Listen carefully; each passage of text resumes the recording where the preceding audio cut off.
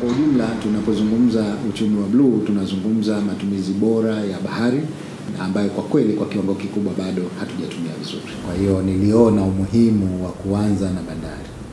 Kwanza eh, ni siku moja tu baada ya kuapishwa nilitembelea bandari yetu ya, ya hapa Malindi ambayo niliona changamoto zake kwamba ni sehemu ndogo, wana vifaa duni na kwa kweli haiwezi kutuvusha katika kuleta uchumi mpya.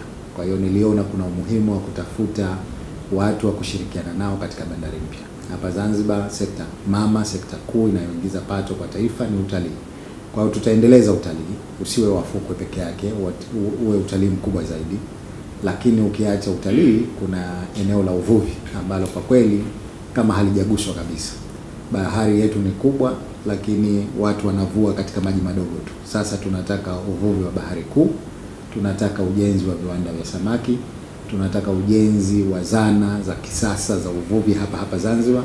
Kwa hiyo uvuvi ni sehemu ambalo tutawekea kipaumbele kikubwa katika uchumi wa bluu, lakini kuna mafuta na gesi. Nchi yetu imebahatika kuwa na rasilimali ya mafuta na gesi.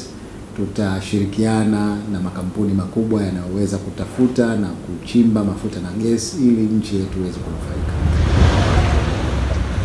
Ni kweli kwamba tumeathirika, tumeathirika kwa sababu sekta mama, sekta kuu hapa Zanzibar ni utalii, na katika kipindi hiki cha maradhi ya COVID-19 eh, sekta hiyo imeyumba sana, imeyumba kiasi cha kwamba mapato yetu yamepungua sana, lakini tunamshukuru Mungu kwamba sasa hivi tumeanza kuona kuna dalili za kufufuka, kwamba watu wame, watalii wameanza kuja kwa wingi, na kwa maana hiyo tunaona bado itakuwa sekta mama, isipokuwa lazima tujipange vyema kuhakikisha kwamba hatuweki mayai yetu yote katika kikapu kimoja. Kwa maana hiyo e, utaratibu tunaotaka kwenda nao sasa ni kuua na sekta nyingine ambazo zitafanya uchumi wa Zanzibar usitegemee mia kwa mia e,